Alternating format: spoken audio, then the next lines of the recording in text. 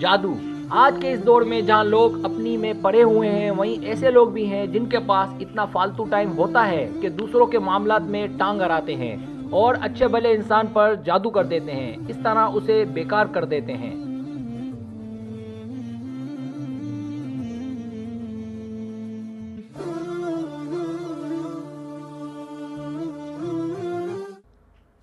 मर्द की रोजी बाँध देना।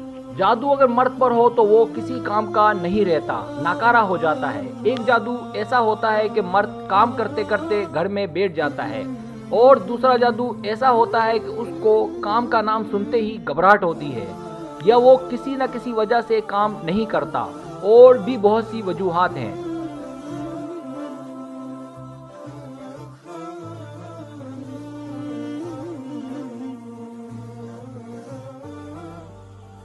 औरत पर जादू। अगर ये जादू औरत पर हो तो इसके पैरों में दर्द रहने लगता है या उसके शोर से उसका बर्ताव बदल जाता है। बाज़ों का सास बहू या मियाँ बीवी के दरमियान फूट के लिए भी जादू किया जाता है। रिश्तों को ख़त्म कराने के लिए, तलाक के लिए, घर तुरवाने के लिए मुख्तलिफ़ तरीकों से औरत पर जादू करवाया जाता है।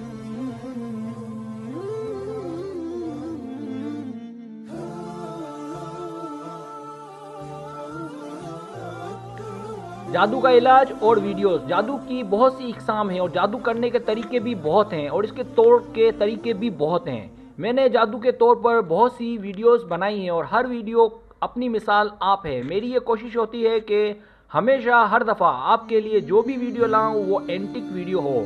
ये भी उनमें से एक है।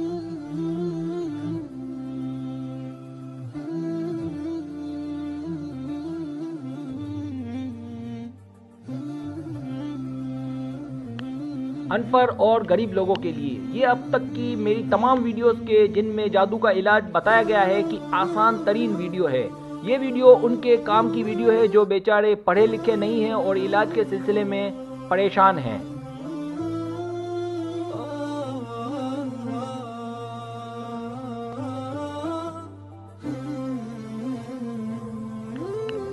हर खांसो आम को इलाज की इजाज़त। एक बात और बता दूँ कि इस इलाज के करने के लिए किसी की इजाज़त की ज़रूरत नहीं। हर कोई इलाज कर सकता है। मेरी, आप सबको इजाज़त है कि इस इलाज को करें।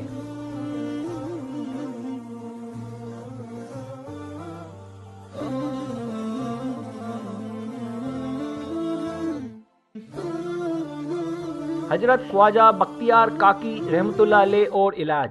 हज़रत ख्वाजा बख्तियार काकी रहमतुल्लाह अलैह का नाम शायद ही किसी ने ना सुना हो। अल्लाह ताला के नेक और मुकर्रब बंदे, अल्लाह के वली, आज उनका नुस्खा आपकी खिदमत में पेश कर रहा हूँ।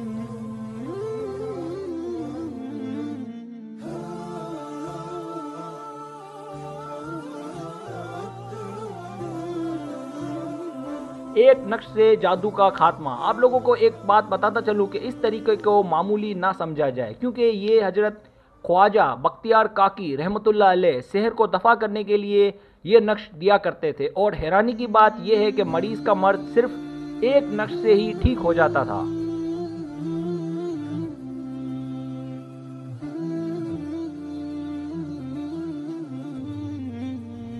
एक नक्श से जादू का खात्मा। ये नक्श जो कि मैं दे रहा हूँ, इसको ज़ाफ़रान से लिख कर मोम जावा करवा कर मोची से चमड़े में डलवा कर, गले में डाल लें।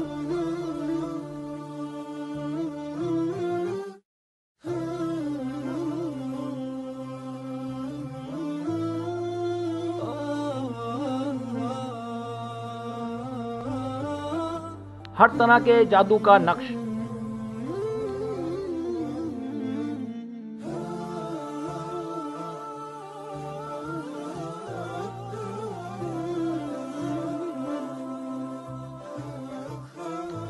और साथ में एक काम और करे कि कोई भी लोहे की चीज़ को अपने जिसम से इस तरह पहने के जिसम से टच होती रहे। जैसे अंगूठी हो तो पहन ले या पेट से चाबी वगैरह बाँध कर रखे। इससे ये होगा कि कभी कोई नया जादू आप पर असर नहीं करेगा। और जब तक ये लोहा आपसे टच में रहेगा, आपको बड़े से बड़ा जादू कभी असर नहीं करेगा।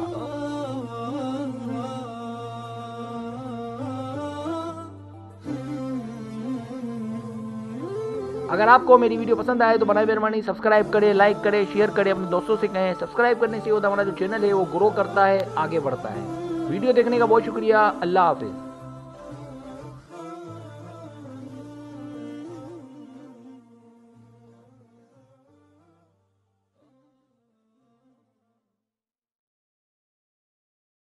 Mm-hmm.